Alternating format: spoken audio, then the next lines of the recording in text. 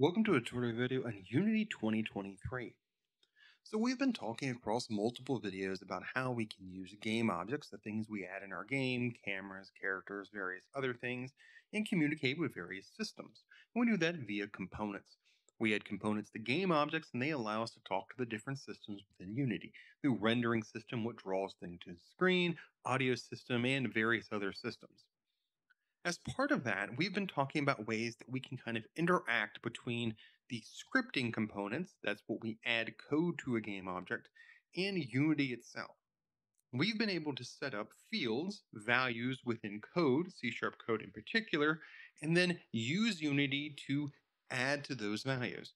So we saw in a previous video how we created a user interface game object, a text mesh pro game object called text, this up here, we were then able to use its value as part of a field in a C sharp file. So our square file right here, right here, score is set up as text and in parentheses TMP, text mesh pro, and we were able to take this game object and drag it over here the inspector view and use it with this. So we're finally able to start to put things together. We're now able to create a kind of simple collection mechanic. We've got a score updating as we collide with that collection mechanic, our coins within our space. Let's finally start to talk about scenes. So when we work in Unity, we divide up a game into a bunch of different scenes. These are our subsections of a game. Right now, we're just dealing with one scene, the sample scene. But we sometimes want other scenes. So let's talk through in this video how we create a scene and then potentially how we move between scenes if that's what we want to do. So let's start though by talking a little bit about what we have by default. So this entire time, all the video, previous videos up to this video, we've been using one scene. And that's because whenever we work within Unity, we work within a scene. There is always an open scene. And in fact, the open scene will always be open as part of the hierarchy view. So we've talked about the game objects within the hierarchy view, but there's also this thing up here called sample scene. And in fact, I've got a little arrow right up here. And if I click it, it then closes up that right here. And I re-click it, it lists them all for me. What that shows is the currently open scene called sample scene. In fact, there's also a folder down here in project view called scenes. If we double click, we notice sample scene. We have access to a scene. So let's go ahead and create another scene and then we'll talk about how we can manage them within Unity. So anytime we create stuff within Unity, there's multiple ways to approach it. We saw the same with game objects, right? When we're working with the hierarchy view, we have the ability to click this or click up here, game object, or right click and do the same thing. Pretty similarly, down here in the project view, if we want to create a new scene, there are multiple ways to go about it. I can either use this plus right here, or I can right click and do the same thing. But at least for right now, I'm to go ahead and click plus right here, and then I'm going to look for scene right here and click. And I'm going to call this menu. So now we have two scenes as part of this game, menu and sample scene. So I'm going to double click menu and we're going to notice that it's now loaded over here in the hierarchy view. It has menu instead of sample scene, and it has, oh, our main camera. Pretty commonly, when we create scenes, it will automatically add a camera, assuming that we want to actually look at something, the video part of video game. So we already have a camera, which means we have the ability to look into this scene. And in fact, if we click play, we can look into this current scene. And there's nothing there to look at, but exists. We can currently look into it. So we know from a previous video that we can use user interface game objects. We saw text as part of Text Mesh Pro, and when we added that, it also added a canvas game object in which the text was a child of the canvas parent. But that allowed us to put user interface elements on the screen.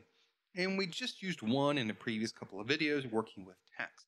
So let's add to that knowledge by working with text and working with a button our goal here is to create a scene called menu, which will serve as the main menu of the game, in which we will start playing from this menu and then move into sample scene. So to do that, we need to add user interface game objects. So let's go ahead and add text, knowing it will already, or automatically that is, add a canvas game object as well. So we're going to go ahead and create a new game object. Again, there's always multiple ways to go about things in Unity, but I generally like to go do things within each individual view. So we're going to go down to UI, over here to text, and then Text Mesh Pro. And notice it added text and automatically added canvas. Now, the thing we learned in a previous video that whenever the canvas game object is added to a scene, it assumes we want screen space overlay. That is, that the user interface game objects exist within the world and are not necessarily connected to any central camera. And there are certainly use cases where we want that. But at least in this case, we want everything to be within the camera. We're not going to move through the world and eventually find that user interface element. We want everything kind of within the camera itself. So we're going to click on canvas. And then again, as we went through in a previous video, set this screen space to camera. And then over here, I'm going to click go over to scene and select main camera for the scene. And then notice text is now in this corner and our canvas is locked to our camera, which is good because generally we don't move around too much in main menus. So I'm going to go ahead and click on text, which is going to highlight down here, and I'm going to drag it kind of roughly in the middle-ish, and I'll make it a little bigger right here, the, the box that contains it. And I'm going to come over here in new text and just simply rename this main menu. And now we have a kind of simple main menu. Now we have lots of styling options right here, but I'm going to come down to alignment, come over to just center, and it just says main menu in the center. Of course, I have the ability to make the font size much bigger and lots of other options for me. I'm just going to let it leave it there for right now. So let's go ahead and play this so we see what this looks like from the scene's perspective. It has main menu. Fantastic. Right there at the top. So let's add now a button user interface game object. Then we're going to need to write some code that's going to work with that button such that we can now move from our main menu into our quote unquote game, which is part of sample scene. So to do that, let's kind of rewind. First thing we're going to need to do is add a button and then we'll kind of worry about the code part. So I talked in the previous video how some game objects can exist in a parent-child relationship. And in fact, we've seen multiple examples of this using the same game object.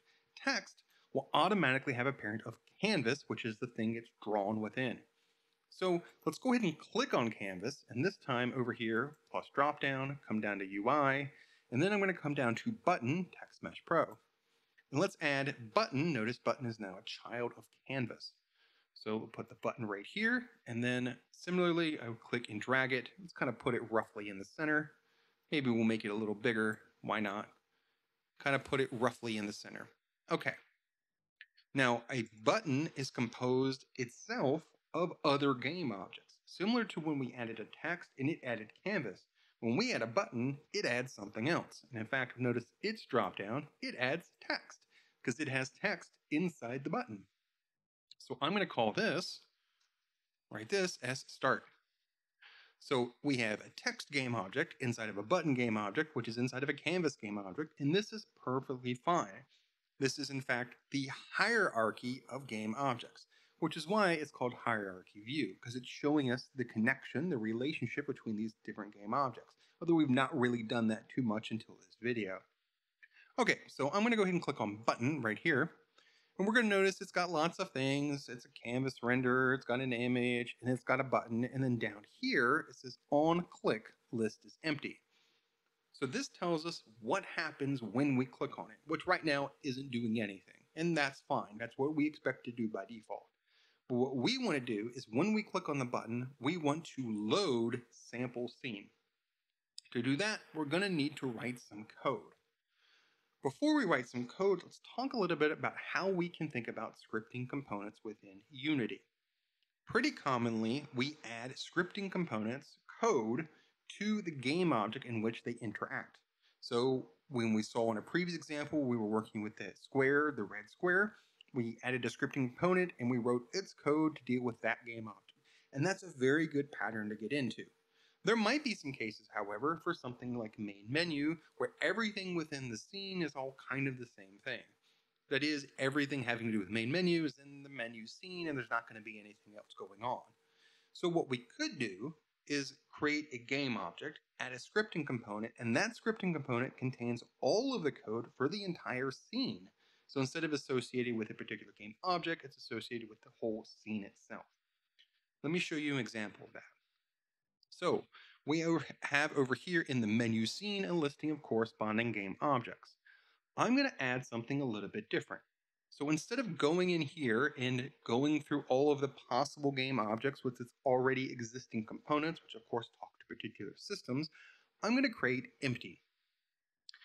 And I'm going to call this main menu code. And this is an empty game object. So in Unity, there are existing game objects that have existing components that we can automatically start using. But we also know that game objects are simply or simply use components to talk to particular systems. So the game objects that exist within Unity, sprites, and others that we've now used, just use particular components. We can also create an empty game object that doesn't have any components, which is what I've just done. This can be really helpful if we want to set up particular things that we then want to kind of customize in our own way. So I've started with an empty game object and I'm going to add a scripting component and then that scripting component is going to control, it's going to have its code, kind of the whole main menu, which is not going to be a whole lot of code, but it's kind of simplify it for just this particular scene. So over here, let's add that component. So I'm going to add component, scroll down to the bottom, new script, so a new scripting component. And then we need to give it a name.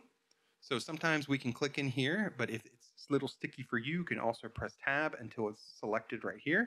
And so I'm going to rename this main menu.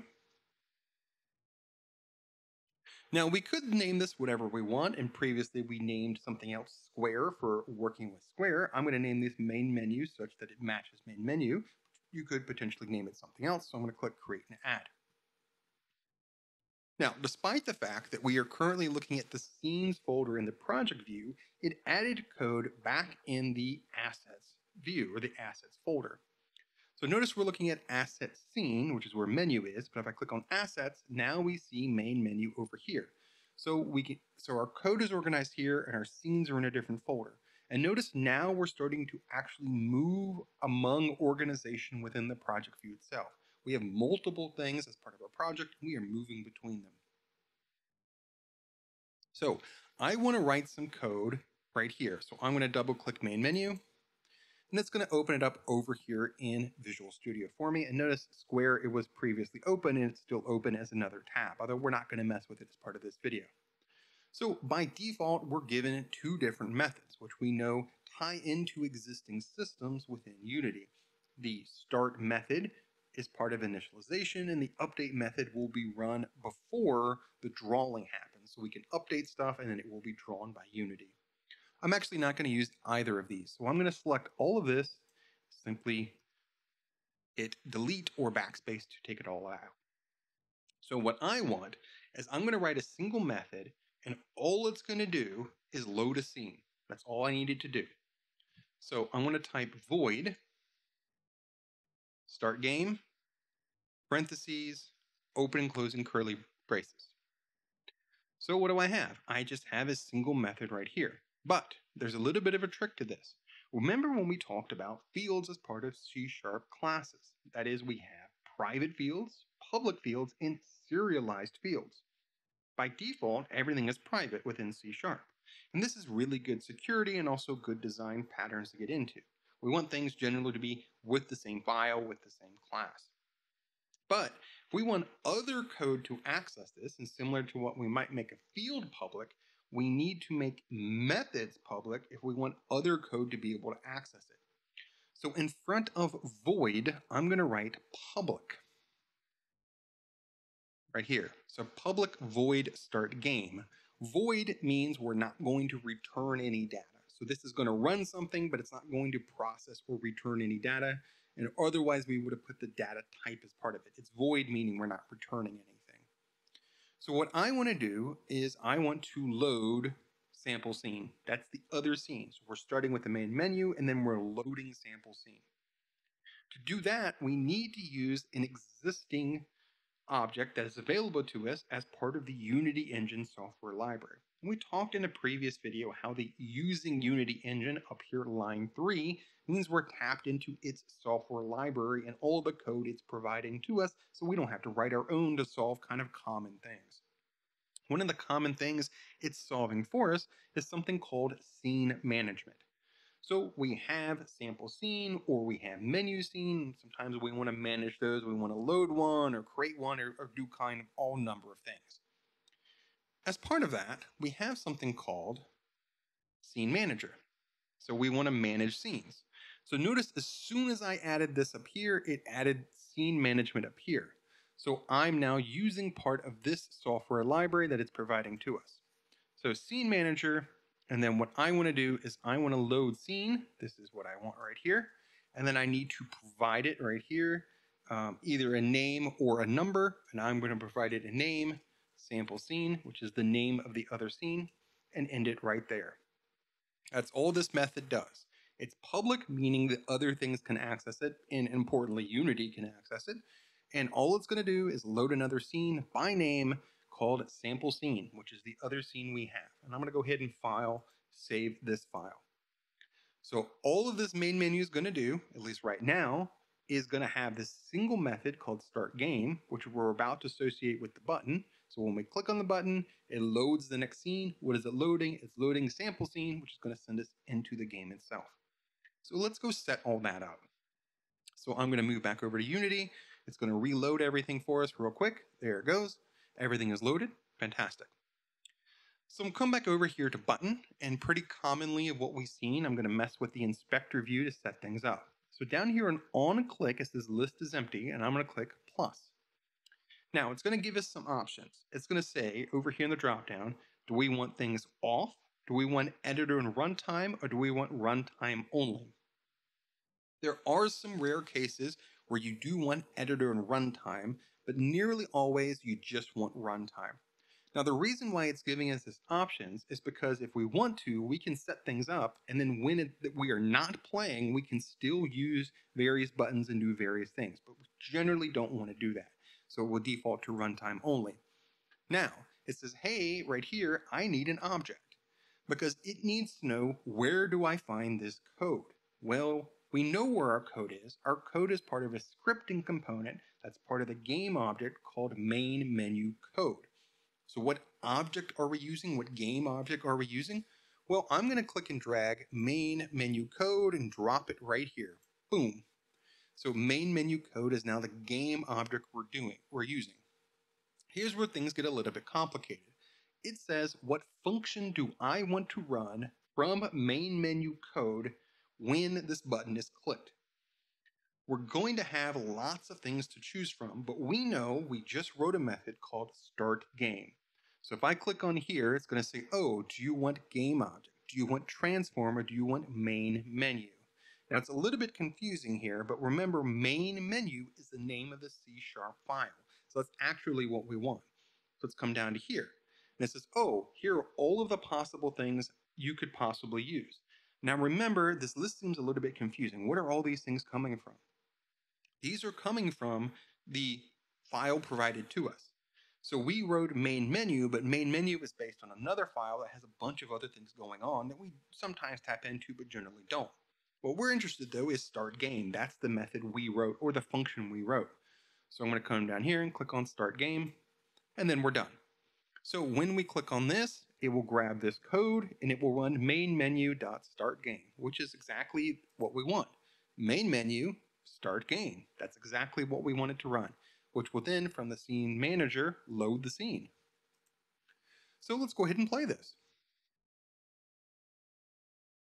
So now we have a main menu. It's not terribly exciting right now, but it exists, and we have a start button right here. And if we click this, now we're loaded into sample scene. Now notice when I click that, we immediately jump to the next scene, which is exactly what we wanted to happen. The other thing that happened is while we're running, we've now shifted scenes, and now we're in sample scene up here, and we see its game objects listed right here. So if we stop though, we're going to go back to menu, which is where we started from. So now we've added right here an extra scene. And from that scene, we've now added text and we downloaded a button and we've written some code using Scene Manager within Unity to load another scene. So let me review everything I've talked about in this video. We divide up a game in Unity in different scenes. Those are the kind of sections of a game. We have, by default, a scene called sample scene. And we've, in previous number of videos now, been working with just a sample scene and not really caring about it a whole lot. We've been more worried about how game objects work with systems. But now we're starting to think about a larger game, and so we want to add some extra sections. One of the things we added in this video is a scene called menu menu scene when we created had a main camera. And based on that default, we then added multiple other user interface game objects. We first added text, which added a canvas, then we added a button inside of that canvas. And then we saw the hierarchy, the relationship between those game objects. A button has a text object right here. It's inside a button, inside of a canvas, and we could potentially do many layers deep if we want to do that. As part of this, though, we've been able to move around one text thing right here, main menu, and have a button right here. As part of the inspector view in the button, we have something called on click, which happens when we click the button. In order to do something about this, we needed to write some code. As part of our organizing of code, sometimes we put the code that is associated with the game object on that game object, and sometimes we don't. Generally, we should do it, but in this case, we didn't because our code is relatively simple and has everything to do with the scene rather than a particular game object. So we created an empty game object right here, main menu code, created a single scripting component, which led us over to creating the main menu C Sharp file. For this file, we have a single method called start game. It is void, which means it doesn't process or return any data, and it's public, which means Unity can see it we are using a scene manager and its method called load scene, which we're loading by name right here, sample scene, which is the other scene we have within our game currently. So when we now play this and we click this button, we will go back or we will go to sample scene. And so now we have a main menu, or at least the start of one. We have the ability to click a button and load another scene, and now we're working with multiple scenes. And as we'll see now in some future videos, this will help us start to separate some things. We'll have sections of the game where we play and sections of the game where we have menus, which will be separate scenes within the game and our ability to kind of move between them depending on what we're doing. We'll also now start to isolate code and better organize it. Our game mechanics will be over here, our menu code will be over here, but they'll all be based on the same ideas we've been using across a large number of videos now. We're using Unity. It's a game engine. It has lots of systems, rendering, audio, and a bunch of others. We're creating game objects, and we're using components to connect game objects to particular systems, and also using C Sharp code as a scripting component, again, talking to a particular system, to then manage some stuff. So we're writing code, we're working with Unity, we're developing lots of different game objects, and now, as part of this video and going forward, also now working across multiple scenes to better organize those game objects as part of a more complex example we'll slowly be building into the future. Thanks for watching.